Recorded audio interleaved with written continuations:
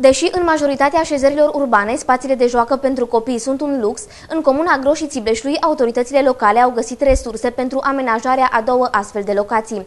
Valoarea investiției s-a ridicat la 40.000 de lei pentru amenajarea celor două mini-părculețe.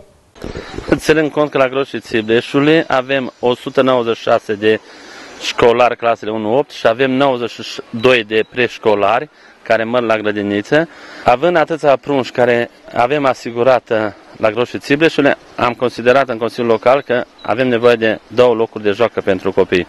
Aceste două locuri de joacă au fost făcute în canterul din jos și în partea din sus a comunei, cu bani din bugetul local, finalizat în, do- în toamna 2009 și după cum vedeți, vă pot să vă spun că în zile de sărbători avem peste 50-60 de copii, atât cu părinți cât și cu bunici sau cu străbunici care aduc aici.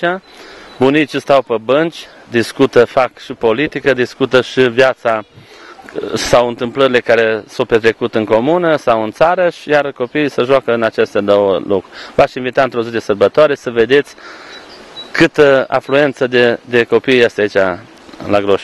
A fost o investiție mare și plănuiți să mai faceți să amenajați alte astfel de locuri? Pot să vă spun că a fost o investiție.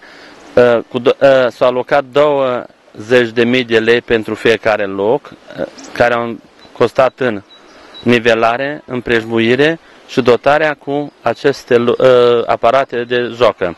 Aceste aparate sunt confecționate, 50% sunt confecționate acela noi pe plan local și 50% sunt uh, achiziționate de la o firmă de la Alba Iulia.